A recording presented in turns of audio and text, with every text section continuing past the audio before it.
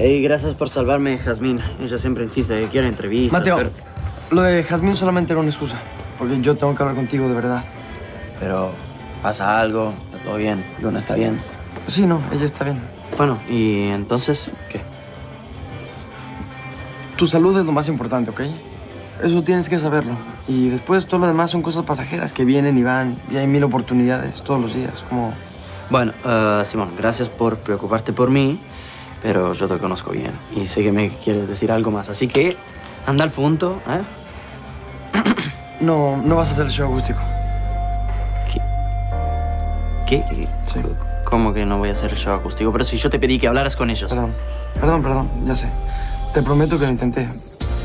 No, no, no se puede, porque no pueden cambiar la fecha porque es demasiado tarde. Perdón, Mateo. Perdón, pero tú eres un súper No, artista. no es tu culpa, ¿ok? Es mi culpa. ¿Qué? Sí, porque si yo no me hubiese subido esa reja, ok, en este momento estaría haciendo el show acústico. Además, Luna fue muy clara conmigo y me dijo que no quería hablar conmigo. Así que, por hacer lo imposible, perdí la oportunidad de mi vida.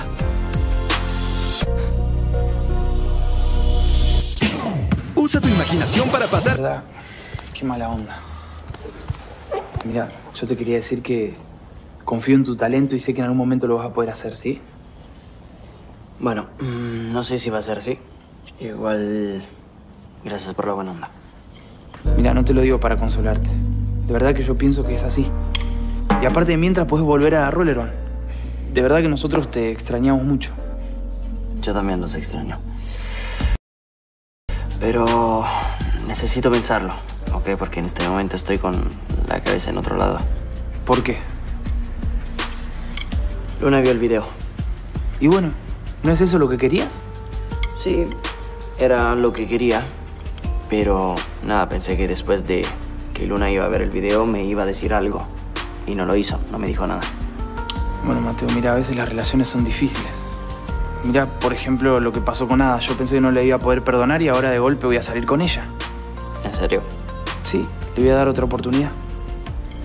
Sabes, yo estoy a favor de segundas oportunidades. Y entonces, ¿por qué no le pedís otra oportunidad a Luna? Porque ya lo hice, ok. Hice millones de cosas para que volvamos a estar juntos.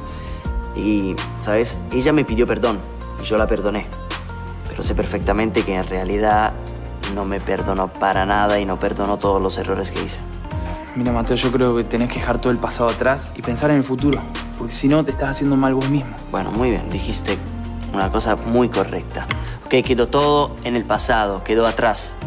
Ahora hay que pensar hacia adelante, hacia el futuro. ¿Mm?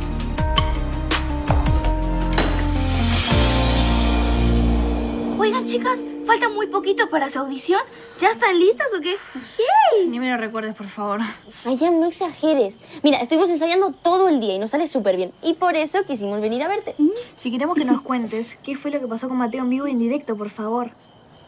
Claro, no, creo que quizás es mejor hablar de, no sé, o del trabajo de ciencias o, o de lo que ustedes tengan ganas de la audición de... No, pero antes queremos saber. ¿Y volvieron? No. ¿No? Wow, pensé que después de que hablaran iban a volver a estar juntos.